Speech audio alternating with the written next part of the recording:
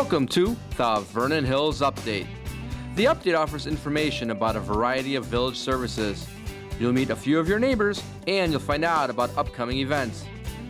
On today's show, we'll find out about this year's Winter Wonderland Holiday Light Show, which opens on Friday, November 28th. We'll also get a quick update on the activities of the Vernon Hills Public Works Department, including winter weather preparations and the emerald ash borer eradication.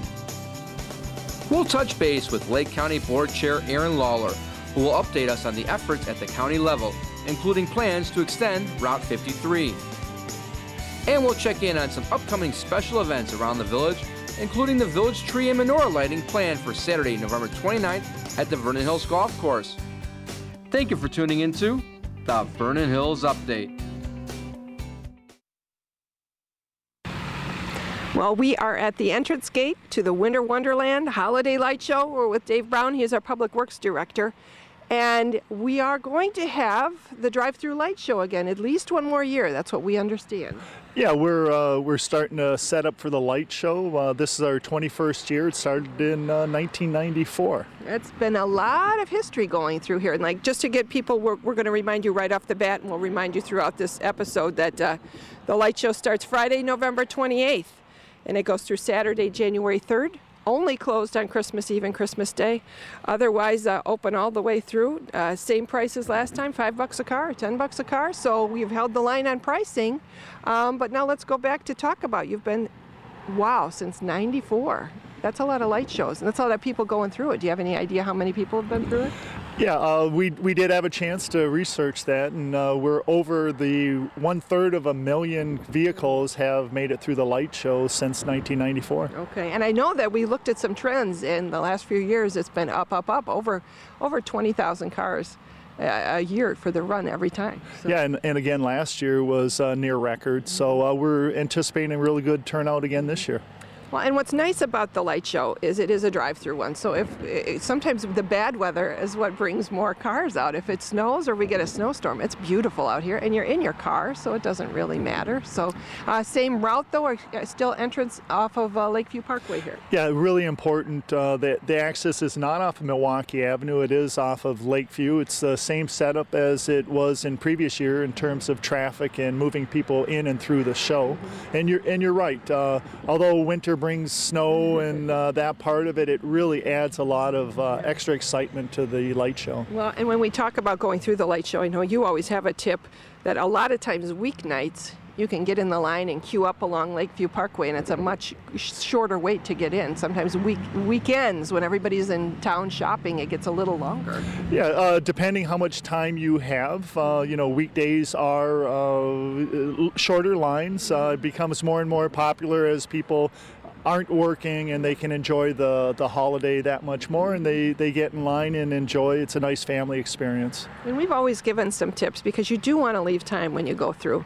Um, I, turn off the headlights and give everybody a little chance. Don't do the bumper to bumper thing. That's when you got a little kid in the car that wants to see everything you got to give it time. Oh it's it, it's the time of season to you know slow down. This is a time to enjoy family and enjoy uh, the light show and you know so patience is appreciated. Mm-hmm. Also, remind everybody again you don't enter at the Cuneo Loyola entrance off of Milwaukee. You have to enter off of Lakeview Parkway. The signs take you all the way around and you e- exit off of Milwaukee. At, there's a stoplight there though now, then that, that makes it nice so you can get out of there pretty well. Yeah, that definitely uh, assists in the uh, exiting after you've enjoyed the show. Well, let's talk too about, you've, you've been uh, seeing this light show for a lot of those years since 94 and we started out it was with john cuneo and when he and this was his family's ground and now this is with loyola.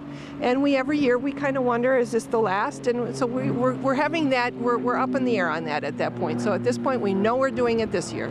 Yeah we absolutely uh, know about this year. Uh, we don't know what the, the future holds but I, I have not heard that it wouldn't continue. So uh, you know we're, we're preparing for this year and we'll find out what uh, the future holds and as we explain that to people they probably wonder why wouldn't you know you're the public works director you know everything that's going on there, but it is in the hands of Loyola University who took over Cuneo. It, it absolutely is. Um, you know, there's some business decisions that Loyola is going through. Uh, we, we certainly at the village enjoy the light show, uh, but we're not necessarily in the driver's seat on that. Okay, very good. So you know what's going on this year starting Friday, November 28th is the first night you can come. The the gates open at 6 p.m. Sometimes people line up a bit before that. They close at 10. Open every day except the 24th and 25th of December. So thank you for that, and you can find out more online.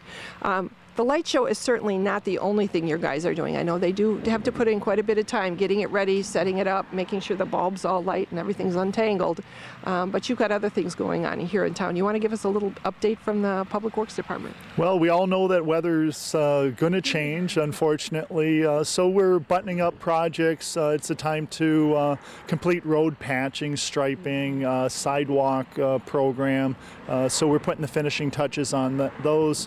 and we've dealt with emerald ash borer. That's uh, delayed things. Uh, the good news is we're past the 50 yard line. We started with uh, 35 500 ash trees, and we're well past the halfway point okay. in terms of not only removing them but replacing oh, them. Oh, really? So, so of those you've removed, you've even gotten replacements in? Because I know one time we talked, you were concerned that even getting replacements because everybody's hit with the same thing. Yeah, I just very pleased with the village board and their decisions. Uh, you know, the that we've worked so hard to uh, obtain, they didn't want to lose that, and we went back and talked to the board as far as the size of the trees and what we could or couldn't afford.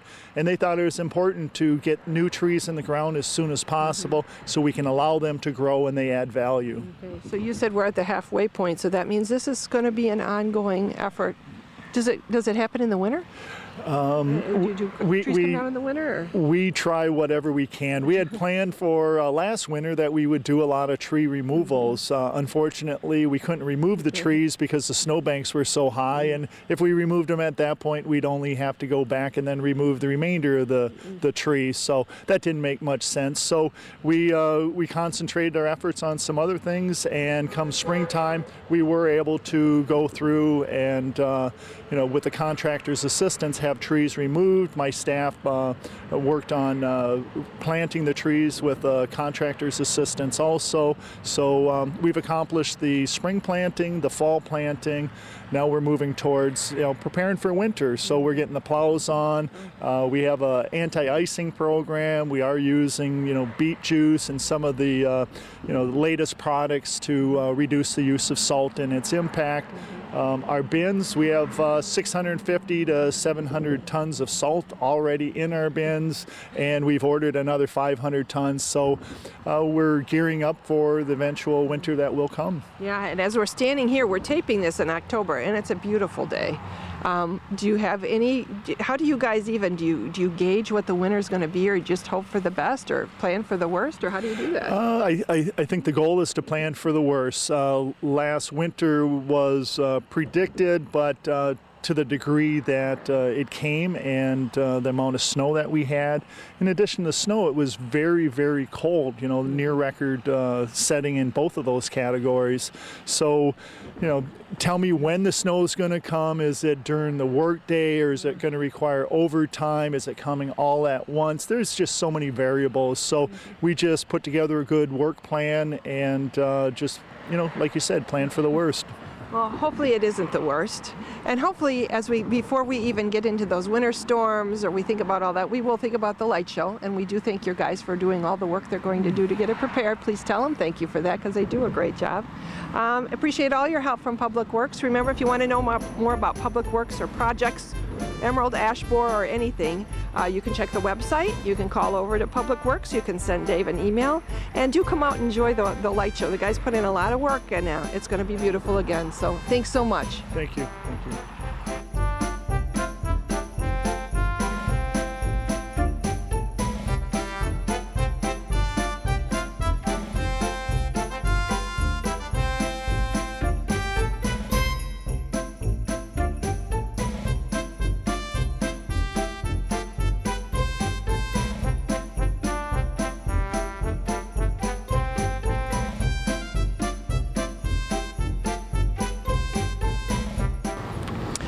Now let's talk about how the work gets done here. We're with Mark Fleischman. He's one of the public works guys. You're actually, I understand, a co-designer of the light show. That's correct. Uh, Pete Nielsen and I, we both drive through the route and see where we want to put stuff, and basically we get an idea in our heads, and then once everything's ready to go out, that's where we put it. Okay, so, so you got do you like have to map it out, that kind of a thing? So, so you know where to tell everybody to Uh, go, la- last year we did we went with that route, but this year it's kind of we have we've split it into zones. Like we've got Candyland, we've got Toyland, so we know roughly where we want them, and then that's where we decide to put them, and then we put them anywhere in that area. And so as we're, we're taping this interview, I know people aren't watching it till November, but we're in October, so you guys have already had to do that process. So when do you start work on this whole thing? Uh, usually about the second or third week of October. Okay. It's about a month long process of designing and then getting everything out, bulbed and ready. So. Okay. And when we talk about getting everything out, I know we're um, on site at Loyola's uh, Cuneo grounds, and we're in front of this big shed. I think it used to be a gymnastics uh, uh, uh, stadium or something like that. But you've got a lot of things in here that you have to bulb, and then you've got trailers on site too that are just jam packed.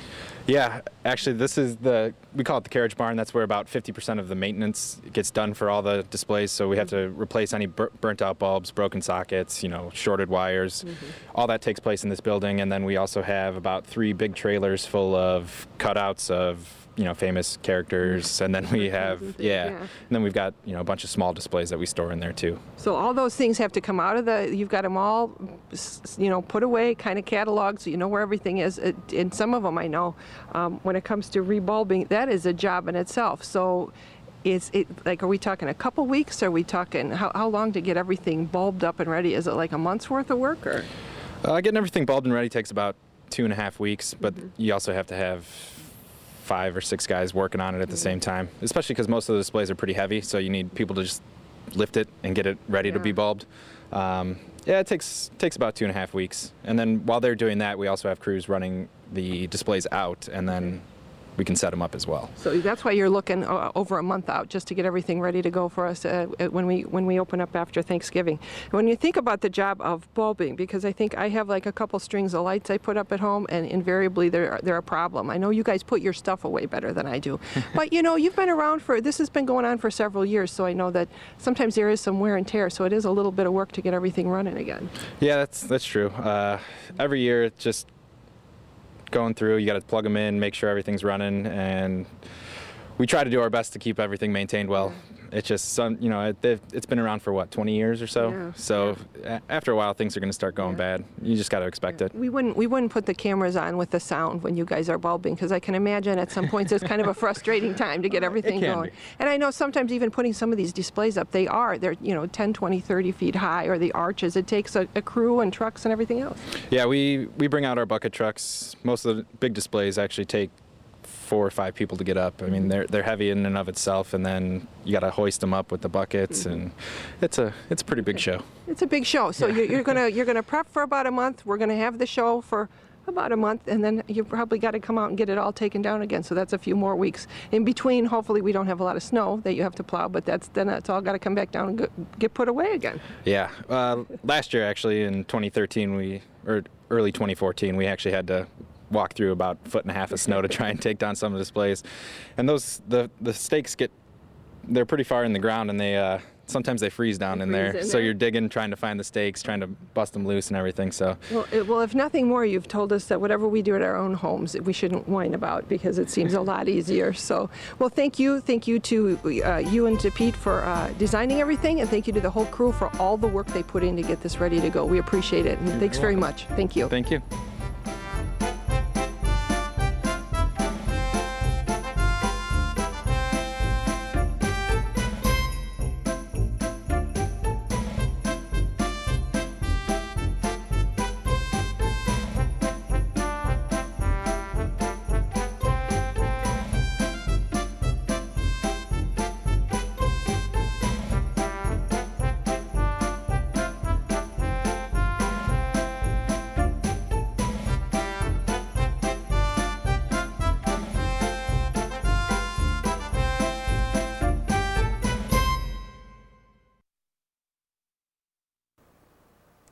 Well, we are pleased to have Lake County Board Chairman Aaron Lawlor with us today. He's a product of Vernon Hills. Um, he stopped by to give us an update on things going on in Lake County. And there's a lot of them. And I'll just tease you with the point. One of them is uh, a Route 53 expansion. So you have to stay and, and listen to this interview for a little while. Thanks for joining us, Aaron. It's a Um, pleasure to be here. and let's start by you are our Lake County Board Chairman. You're also our representative from our district that covers Vernon Hills. Is that 18? Yes. Okay. Um, can you give people a little bit of an overview of what the county is? I mean, we've got the village, we've got the township, we've got the county, we've got the state. The county does a lot, and a lot of it's kind of behind the scenes too. That's exactly right. It's all those services that I think people notice when they're not working, uh, but when they're working well, they, they really don't see a lot of them. It's our court system, uh, the administration of our elections, the property assessment process, uh, the health department, uh, and many other administrative functions, as well as uh, public safety and criminal justice, the jail, the sheriff's office, those types of things, which actually drive a lot of our budget. Yeah, and when we talked too, you talked about the health department. I think a lot of people, um, if if you haven't been in the position to need it, the health department is amazing because you do have health services for anybody in Lake County if they need it, regardless of, of the financial situation. Correct. We serve about 50,000 people a year through our primary care service division. So that's everything from checkups for kids to dental service for low income folks and uh, particularly low income veterans. Uh, but the health department's a lot larger than that. We do other things like inspect restaurants, uh, inspect the quality of our lakes and water supply, uh, inspect septic systems uh, in the western part of the county where you don't have a strong sewer network. They rely on septic. So there's a lot of things that go into the health department. It's actually the county's largest department and provides a myriad of services to county residents. Okay, And you talked, you, you alluded to the fact, as we're, we're taping in October, Mm-hmm. this is your budget season. It's many, it's many, uh, you know, public organizations' budget seasons Sure. now. So as we get into November, when people are watching this, we're going to learn more about what the budget items are. So Mm-hmm. hopefully you can come back and give us a, an update of how all that budgeting work does. But you said Mm-hmm. uh, jails and things like that. Really, is that the is that the most? Is that where the most of the dollars have to go to? The the criminal justice. Uh, a lot of it goes to the not just the jail, but also your court system. So that includes everything from uh, your civil and criminal courts, uh, the state's attorney's office, the public defender's office, those types of things as well. Uh, the biggest department in the county is the health department with all the functions that we've described. Uh, but the budget is actually uh, looking pretty good this year. Uh, revenues are rebounding to 2007 levels, and so we're seeing a comeback around the county. In our area, uh, the southern area of the county, we're seeing a lot of um, bouncing back in the real estate market. Uh, varies kind of around the county, but that really does drive uh, both revenues and then uh, expenditures. Um, unemployment has gone down significantly. One of the things that I'm really proud of is that unemployment has gone down, but we're the only county in the Chicagoland region where the labor participation rate has gone up. So unemployment down, labor participation up. That means people aren't just giving up, they're actually being put back to work. Okay, so like sometimes people just say, I've given up, I take myself out of the whole mix, but these are people that are doing what they, they need to be doing. Exactly, so. and then that has, you know, a, a ripple effect in our local economy. Well, and so you talked about property value, property values, Mm-hmm. employment, all those things. Where does most of the county's budget revenue come from? Is that off of property taxes sort of thing? We're very blessed to have a diverse revenue stream. So one third of our revenues come from property taxes. Okay. The rest come from sales taxes, um, contractual agreements, and other areas. A large portion of, say, the health department's budget, it comes from Medicaid, Medicare reimbursements, uh, and other programs. Uh, we've got a lot of grants that we get over there, and, and we're very uh, fortunate to receive those. So a lot of times with with uh, our other property, our um, excuse me, with our other taxing districts, they're more heavily weighted towards property taxes. We've got a much more diverse revenue stream. Okay. To do all those things, like, like you said, a lot of Mm-hmm. them are kind of behind the scenes. We don't hear about them as much. Mm-hmm. Um, and talking about, you, you said the economy, I, I would have to say what you've just told us, the economy is looking brighter around Mm-hmm. here, and we have a strong Lake County economy. Um, and other things that drive that, transportation is always a key when we talk Yep. about Lake County economics and things like that. And I understand that we conti- the last time you were here, you said we're moving forward with Route Mm-hmm. 53, which, which is our north-south corridor. How's that coming along? It's coming along really well, and the reason it's working well is we've brought everybody to the table. Our municipal leaders like Roger Byrne, uh, the environmental community, our uh, economic development folks and our private sector people, everybody's at one table working out a consensus that everybody can live with. This roadway would go through some of the most sensitive uh, wetlands and areas in Lake County. So we have to build a new type of road. It involves a, a creative way of thinking uh, and also a creative way of financing. This project is a, a 2.5 billion dollar initiative that would be a toll road. So that's really the basis for the revenue. That generates about 10 to 10 percent of the revenue needed for the project. Uh, the rest we're working at local financing options, some creative revenue streams that we'll be uh, working on through the end of this year, and then providing the local municipal leaders recommendation to the tollway board in the beginning of next year. Okay. But no tollway pays for itself except the tri-state. And so it's important for our residents to know that this is a regional road with a substantial regional benefit and it needs to be paid for with regional funds. Okay, so all those pieces of but you're, you're, you're in the beginning. It looks Mm-hmm. like it's going, but all these people still have to work out the, you know, consensus building and things like that. So there isn't, there isn't a plan yet. Mm-hmm. But as it goes through all these different um, organizations and you do build that Mm-hmm. consensus and figure out the, the best recommendation, um, what will that communication process look like? I mean, will, will it be up to the toll road people to tell Mm-hmm. us how to do this? Or are they the ones that are going to tell us how it's going to look or anything? Or is that going to come out of the county or where? Well, we've got a, a draft set of recommendations, but we're really trying to vet the numbers, make sure they're accurate, and also engage our state legislators because a lot of what we're uh, thinking about involves changes to state legislation. Uh, Oh. So we'll need them at the table. Um, really, though, the Tollway Board is critical in communicating this because uh, one of the biggest things uh, that we're looking at is the equity of tolling uh, on the Lake County portion of I 94. And I realize this is a, an uncomfortable thing to talk about, but when you look at the numbers, uh, the average per mile toll in the Lake County portion of 94 is about six cents a mile.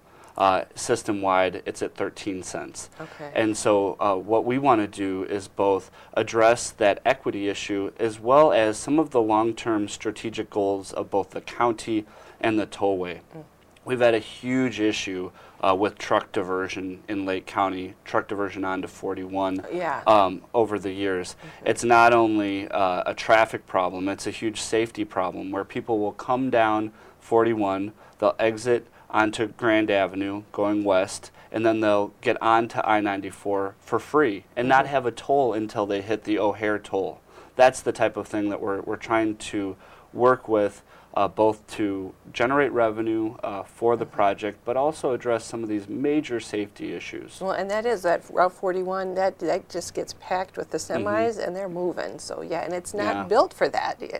Yeah. So that's so you have multi, every question, every task has Mm-hmm. multiple tasks behind it then to get it to where you need to be. It sure does, and we have to have a, a big vision for this project. It's it's it's about the uh, 53 Northern Extension, but it's also about what transportation looks like in our county.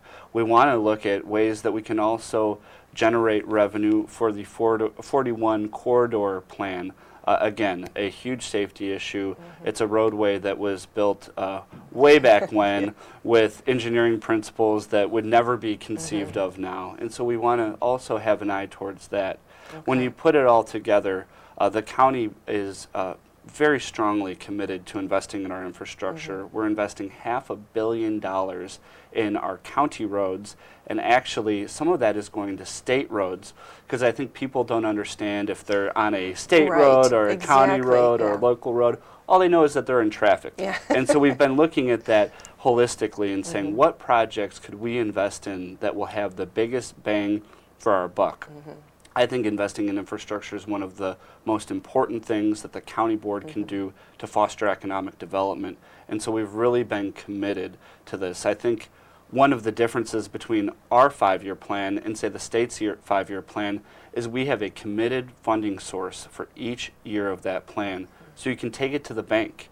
Other plans might be funded for one year, uh, but, then not the second, can't third, and fourth continue, year. Right. Yeah, yeah. Well, that's good to know that planning is going into place, that holistic approach. I like to hear that everybody's at the table, including the environmental groups, Mm-hmm. because if you're new to the area, 53 has been talked about I, it seems like for forever. Mm-hmm. Um, and it has been that the issues with traffic and the gridlock. And I know that you, as a county board president, you, you hear, you know, I, I'm concerned about my company getting my workers where they need to go. So it does have that huge economic impact if we can get the roads moving a little bit. So It's a huge issue for our employers, uh, and not just the um, asphalt and pavement Mm-hmm. uh, side of things. We're also very committed to the public transit side of, of things. Oh. And we've made substantial investments into what are known as shuttlebug programs that connect our metro stations with our large employment centers.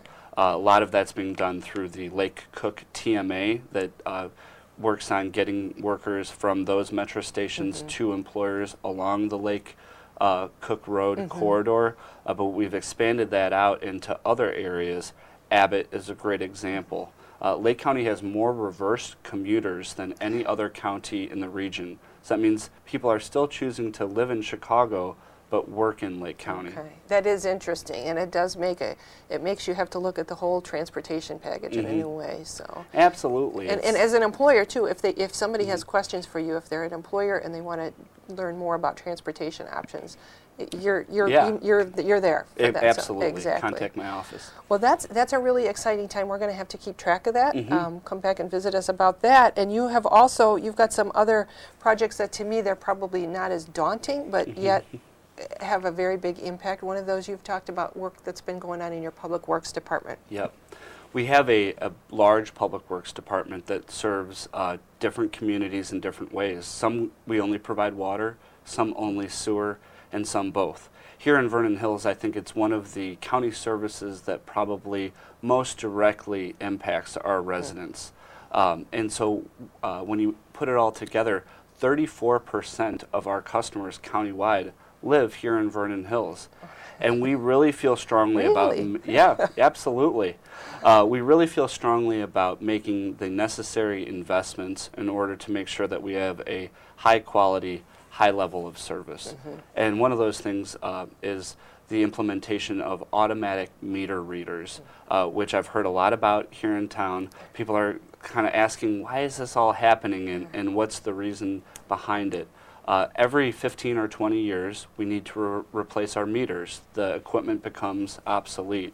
What we've done now is uh, implemented a system where it's all automated. We no longer need to employ a workforce or contract for services to do that function of manual meter reading. Where they walk And- through your yards and went, yeah, Exactly. exactly, and try to figure out through the snowbank where the meter was, yeah. Exactly. So it's all going to be read um, in an automated fashion.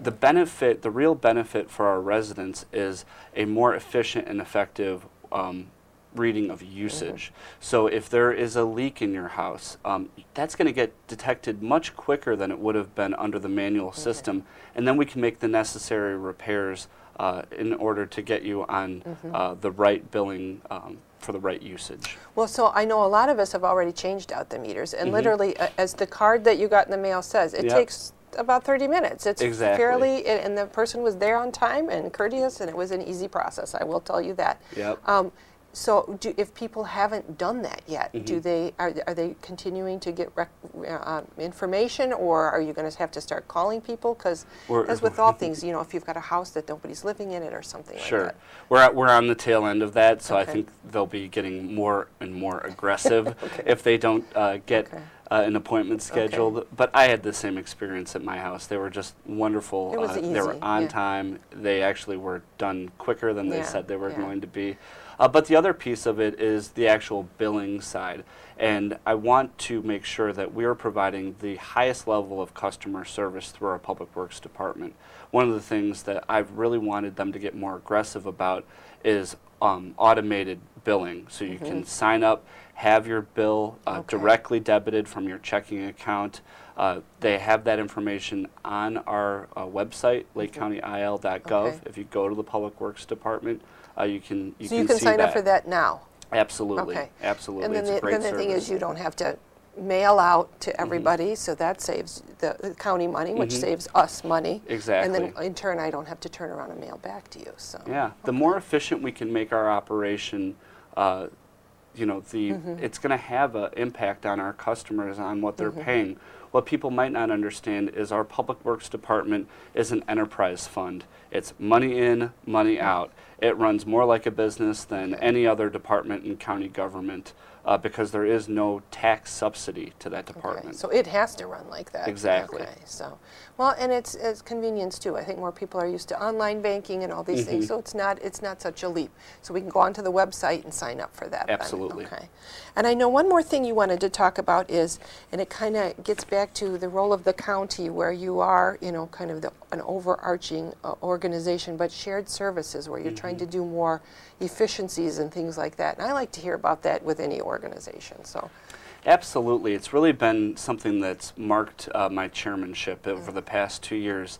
You know, as uh, much as I hate to admit it, I don't have a lot of hard power. I can't get anything done unless I get 10 other of my colleagues to vote with me on it. But I sure do have a lot of soft power to convene the right people around the table and have a discussion about how we can make things more efficient uh, in our operations uh, in county government as well as other governments. One of the big examples of that that we're working on is consolidated 911 dispatch. It's something we've already done here in Vernon Hills, where Libertyville and Vernon Hills band together and consolidated their dispatch center. When you add it all up, we have 24 public safety answering points around the county. It's 24 dispatch centers. Uh, and I don't know what the best model is yet. We're getting everybody together and trying to build partnerships to have a really thorough discussion.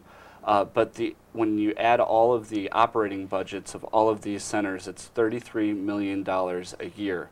And we did a study that showed if we went to a more consolidated model, we could save up to $10 million, one third of what we're already spending. I think that would have a substantial uh, benefit for taxpayers across the county.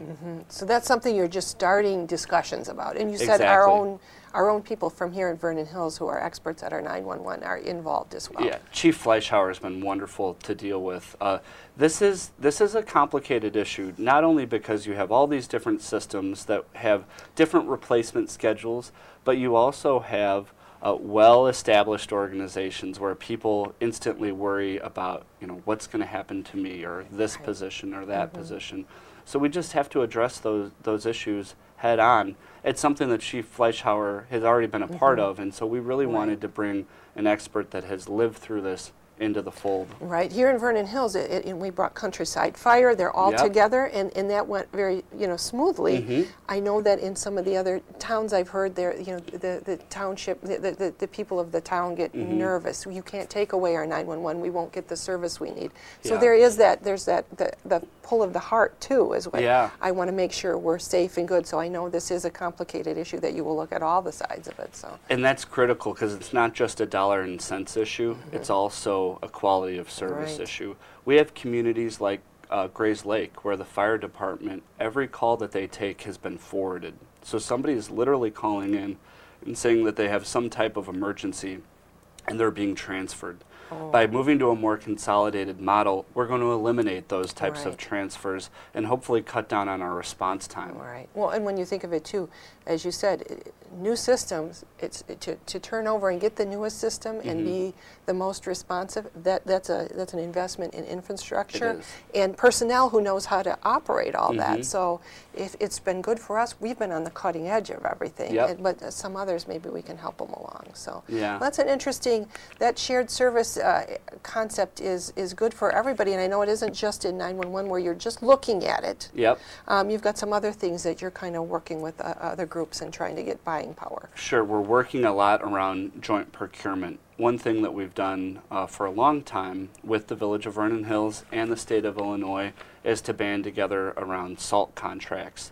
Uh, if we can provide that economy of scale, we get a much better unit cost. We're also looking at the types of functions that we may not perform on a too regular basis, like elevator inspections.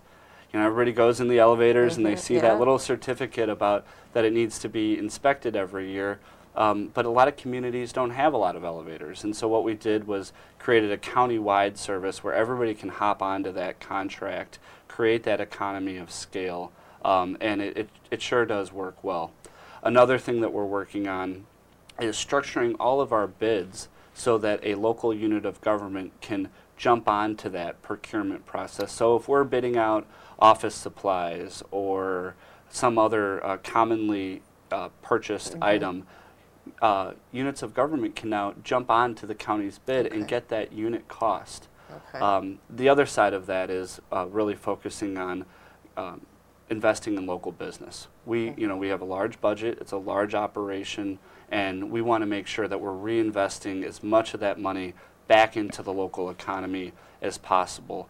And so we're focused like a laser on measuring how successful we are on local hiring and local procurement. It's called Buy Local, Work Local, uh, and it's a big program at the county. Now, if- if somebody has something that they think they could get on your procurement schedule as a Mm-hmm. possible vendor, do they have to go through any kind of certification process, or do they just let you know they exist, or what happens? So what they can do is sign up on our website, and they they basically go through all of the different things that we Okay. have procurement needs for, Okay. and they sign up for those, and then they get automatic alerts when we have a need, Okay. um, either an RFP, a bid, um, that type of thing, and then they'll get information so that they can participate in that process. Okay, that's another good thing to go online. So we need to go online and sign up for our uh, uh, electric uh, bill to go to go paperless, Water bill, yeah. water bill to go paperless, and we need to make sure that we've got our businesses signed up so that Yeah. they can get on the schedule with you. Yeah. So And a lot of this information I put into my, my Mm-hmm. e-newsletter, which I have a couple thousand folks in my district that subscribe to. Okay. I get really rave reviews. Sometimes people say, do I really need to get another email? Uh, but it is a great opportunity, a great one-stop shop when we have road construction alerts, Okay. severe weather alerts, uh, and this type of information that we've talked about today. So I'd encourage people to go to my website, sign up Mm-hmm. For my e-newsletter. and free. Free, Uh, yes. So it's all good. There's nothing, no, no, no strings attached to that. So there is so much information, and there's a lot of information on the county website as well. Um, so between your email sign up and the county website and the calls that people can make, um, I think you've given us a really uh, a, a, lot of information here. and now we know we want to talk to you again because we'll come back and talk about how 53 is going in the budget Yeah. process and everything as we move forward. So. Yep. Thank you for taking the time. I know it's busy over at the county, so I appreciate it. And if you want to know more, remember, just get a hold of Aaron, get a hold of Aaron's office. Uh, they'll take care of you. So thanks very much. Hey, thank you.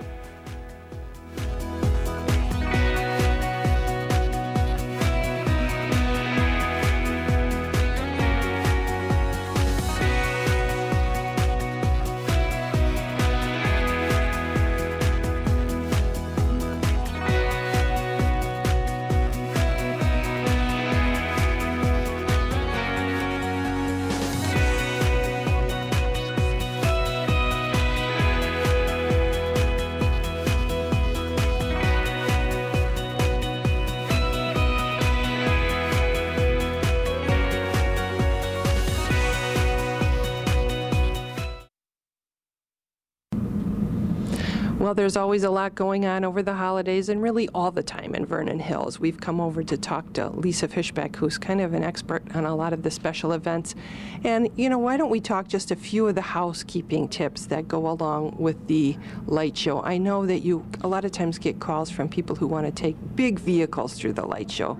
And you know there's some tight corners in there. Right, there are a couple tight corners in the in the light show. So oh, um, small buses are about the only thing that can go through, other than your your family cars. Anything longer than 22 feet will not make it around some of the hairpin turns. So that's that's the reason why I know sometimes you get people like, why can't I bring my entire you know high school team through or whatever? Right, the smaller buses are the only thing that'll fit through there. So. Well, and as as she we said before, she knows everything about the light show. So if you do have questions, you can always give her a call. Um, and as far as the light show, uh, we. Uh, Monday through Thursday, five dollars. Is that the same Right. price for the vehicle? The light show will open on the 28th of November and it will run until the 3rd of January. It's open seven days a week with the exception of Christmas and Christmas Eve and Christmas Day. Uh, it runs from 6 to 10 p.m. and on Monday through Thursday it's $5. Friday, Saturday, and Sunday it's 10 So. And when you queue up, uh, people sometimes get confused, but you do queue up along Lakeview Parkway, just off Route 60. Right, the entrance is on Lakeview Parkway, um, north of Route 60. It is not on Milwaukee Avenue, that's the exit. So if you get confused, just follow the signs. There are plenty of signs on Route 60 that will get you to where you need to go.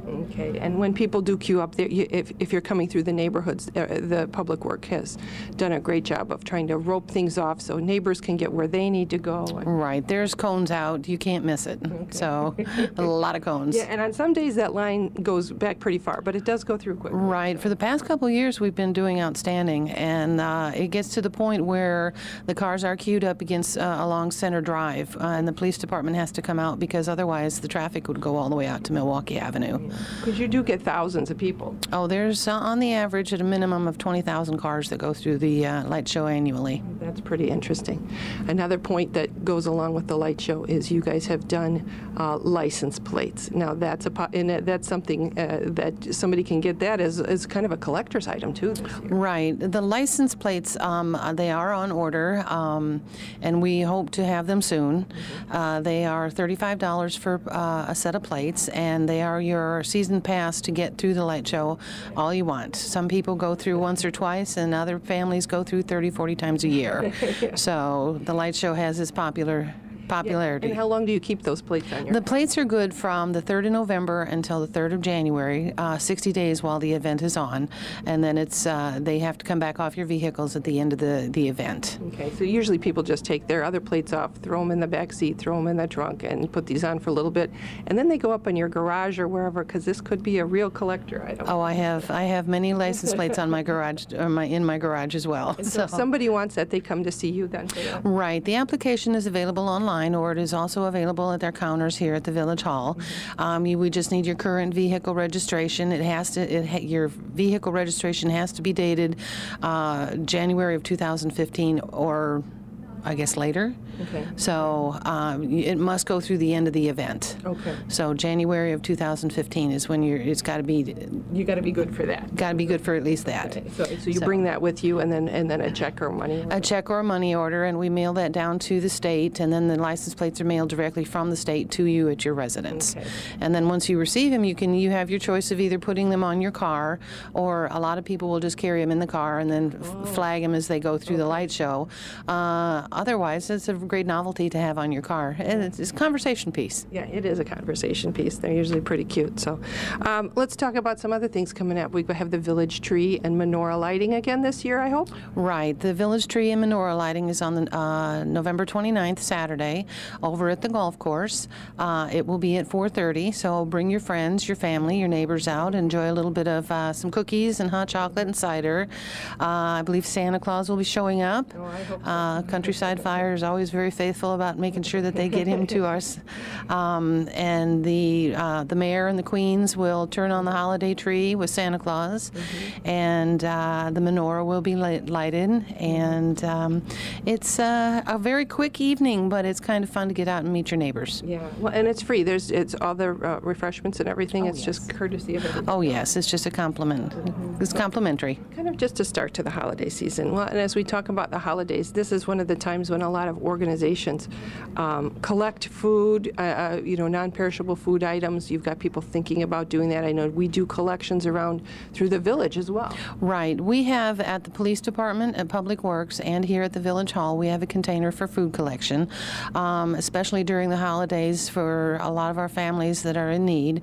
Um, we collect the food for the Vernon Township. Uh, pantry, and uh, we will also coordinate if you want to have um, a food collection in your office or something, uh, and don't know how to get it to where it needs to go. Give me a call. I can coordinate a pickup for you.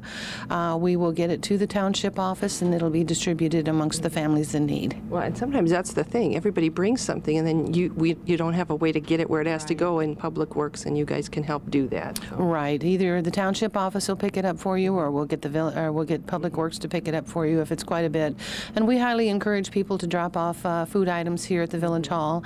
Um, if anyone is interested in adopting a family of anything like that, please contact your township office. I mean, Libertyville Township or Vernon Township, they always have families in need and they're always collecting items for the families, um, not just food items, but they do an outstanding Christmas and holiday program. Well, and that's the other thing to remember. We're talking about the holidays now, so everything's on our mind about that. But this is a need that goes on year round, and Right. you, you always have your collection bins here, and the co- townships are always working with everybody. Yeah, right, right. We are, we, our collection bins are here 24/7, uh, 365. So we will uh, take anything or, or pick it up if we need, if we need to. Well, you're a great resource to, to know that. So if you if you do need to do something or you need to figure out how to do it, talk to Lisa. She can help you get organized and help you get that done. So we can help if somebody needs a hand. Those of us who can will, and if we need the help, the township is available to help us as well. So, well, thank you for your time here today. Have a great holiday. We'll watch for you at the tree lighting, and thanks for for all the info info today. Ah, anytime.